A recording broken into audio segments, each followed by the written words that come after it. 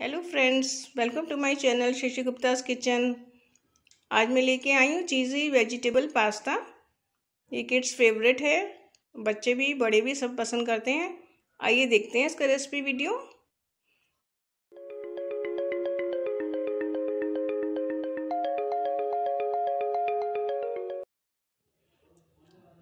Wages macaroni बनाने के लिए मैं पहले मैक्रोनी को एक कप मैक्रोनी ले ली है मैंने। इसको धो लिया है, अच्छे से वॉश कर लिया है रनिंग वाटर में। और मैं इसको उबलने के लिए रख देती हूँ। जब तक ये सॉफ्ट नहीं हो जाएगी, तब तक इसको हमने बॉईल करना है। पानी ज़्यादा डालना है, जिससे कि अच्छे से ये डूब जाए। और इसमें मैं एक चम्मच तेल डाल दूँगी, छोटा चम्मच, जिससे ये स्टिकी नहीं होगी अलग अलग रहेगी। और थोड़ा सा सॉल्ट भी डाल दूँगी, और थोड़ा सा।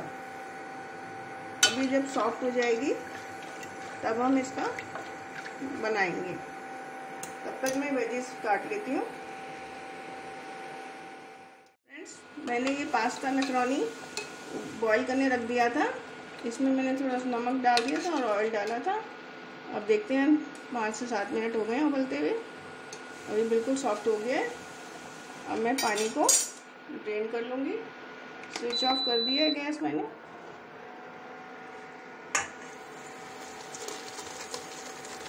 ऑयल डालने से ये आपस में स्टिकी नहीं बनता है। खिला खिला बनेगा। अब इसके लिए मैं सब्ज़ियाँ तैयार करती हूँ। अब मैं इसके लिए वेजिटेबल्स तैयार कर रही हूँ। नॉन स्टिक कढ़ाई में मैंने दो चम्मच ऑयल डाल दिया है। ये छोटी चम्मच है। इसलिए मैंने तीन डाला है। अदरवाइज़ दो चम्मच बहुत रहता है। कोई भी ऑयल आप यूज़ कर सकते हैं। अब इसमें हम प्याज देखिए, ऐसे काटा हुआ डाइस्ड अनियन है।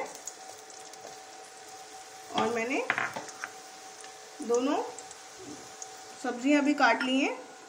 ये शिमला मिर्च है, तीनों मिक्स की हैं, लाल, पीली और हरी। ये बेल पेपर है येलो एंड रेड और ग्रीन कैप्सिकम है। तीनों मिक्स कर लिए हैं। थोड़ा हम प्याज को पहले सोटे कर लेंगे, फिर हम इसमें बेल पेपर्स ऐड कर देंगे। और इसके लिए मैंने एक टमाटर भी पूरा चॉप कर लिया अंदर से सीड निकाल दिया लेकिन उसका सीड। अब इसको हम थोड़ा सा सॉफ्ट कर लेंगे। जब तक ये ट्रांसपेरेंट हो जाएगा, तब तक हम इसको चलाते रहेंगे।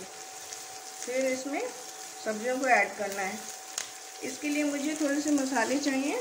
मैंने लिया है नमक, काली मिर्च, टमाटो सॉस नॉर्मल वाली, और ये थोड़ी hot and sweet tomato sauce है। थोड़ा इसको चटपटा बनाएगी। और भी आपने तीखा बनाना है तो आप रेड चिली पाउडर भी डाल सकते हैं। अगर आप गार्लिक पसंद करते हैं तो गार्लिक भी डाल सकते हैं, लेकिन हम, मैं नहीं डालती हूँ। गार्लिक। ये बच्चों को वेजिटेबल्स खिलाने का भी बहुत अच्छा तरीका है। उनको मैक्रोनी बहुत पसंद आती है, पास्ता, और मोस्टली प्लेन खाते हैं। मैं इसको चीज़ी बनाऊँगी। तो इसके लिए मैं अमूल चीज़ मैंने लिया हुआ है, वो भी डालूँगी। वो लास्ट में डालूँगी सबसे। प्याज ट्रांसपेरेंट हो गया है। मैं इसमें तीनों शिमला मिर्च जो काटी हुई थी रेड येलो एंड ग्रीन डाल देती हूँ। ये देखिए, अभी से कितना कलरफुल लग रहा है। अभी थोड़ा सॉफ्ट हो जाएँगे, तब तक हमें इसको स्टर करते रहना है।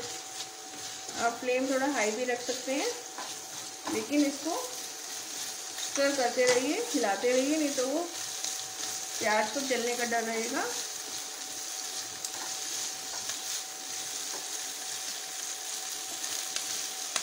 देखिए मैं ये चीज़ ले भी लेके आई हूँ, ये भी मैं डालूँगी इसमें तो कोई भी चीज़ आप ले सकते हैं। आप पिज़्ज़ा चीज़ भी ले सकते हैं, उसको ग्रेट करके डाल दीजिए, लेकिन मैं ये चीज़ स्प्रेड डालूँगी। ये सॉल्ट एंड पेपर वाला टेस्ट वाला है। आप प्लेन भी डाल सकते हैं लास्ट में डालेंगे।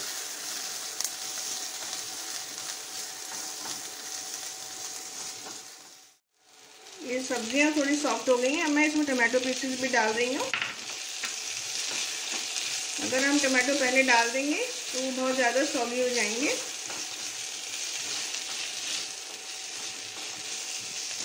इसको भी दो मिनट और हमने अभी करना है। ये सब्ज़ियाँ तो अच्छे से सॉफ्ट कर दी हैं। थोड़ी क्रंची रखनी होती है इसमें।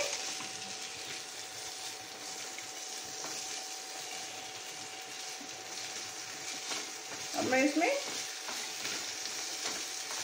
मैक्रोनी भी ऐड कर देती हूँ। जो बॉइल्ड मैक्रोनी रखी थी मैंने।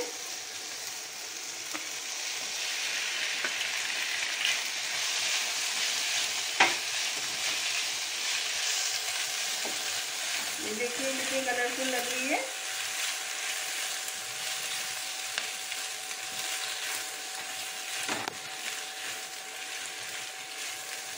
अच्छे से मिक्स कर रहे हैं।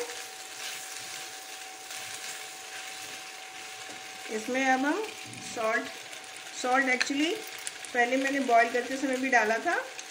तो वेजिटेबल्स के अकॉर्डिंग आप थोड़ा सॉल्ट डालिए, ज़्यादा नहीं डालना है। सॉसेस डालेंगे ना सॉसेस में भी सॉल्ट होता है।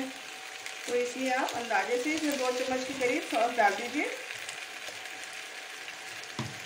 एक चम्मच मैं हॉट एंड स्वीट डाल रही हूँ, ये ज़रूरी नहीं है। आप इसकी जगह थोड़ा सा रेड चिल्ली सॉस भी डाल सकते हैं। ये मेरी टमाटो स्पाइसी वाली टमाटो है। थोड़ा इसको टैंगी टेस्ट देने के लिए मैंने डाला है। मैं थोड़ा काली मिर्च भी स्प्रिंकल कर रही हूँ इसमें।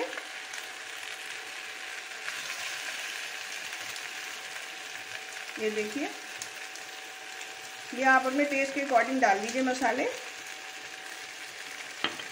अब इसको अच्छे से मिक्स कर देंगे।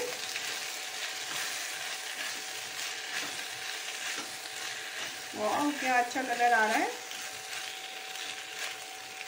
गरम गरम कोई भी टाइम आप इसको बना के फटाफट खिला सकते हैं। खुद भी खाइए, बच्चों को भी खिला सकते हैं। बच्चे नॉर्मल खाना कम पसंद करते हैं तो उनको ये बना के दीजिए। क्योंकि इसमें सब्ज़ियाँ डली हुई हैं तो वो फ़ायदा ही करेगी। देखिए अब हमारी तैयार है। अब मैं इसमें दो चम्मच चीज़ और ऐड करती हूँ। चीज़ आपका मनपसंद है, अगर डालना है तो डाल लीजिए अदरवाइज़ आप इसको एज इट इज़ भी रख सकते हैं विदाउट चीज़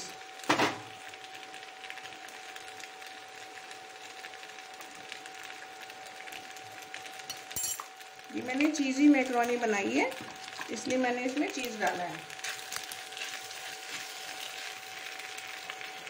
किड्स भी थोड़ा खाएँगे चीज़ उनके लिए अच्छा रहता है, इसलिए भी मैंने ज़्यादा डाला है। ये थोड़ी देर में मेल्ट हो जाएगा क्योंकि फ्रिज का है।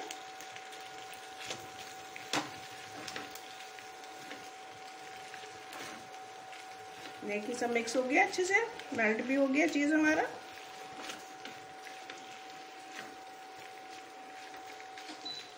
अब हम इसको बस सर्विंग बाउल में ट्रांसफ़र कर देते हैं, हमारी रेडी है।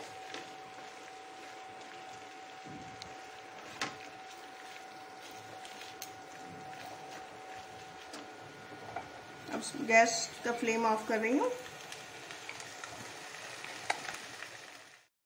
देखिए फ्रेंड चीज़ी पास्ता तैयार है सर्व करने के लिए। आप भी खाइए, सबको खिलाइए। बच्चों को बहुत पसंद आता है, उनको ज़रूर खिलाइए।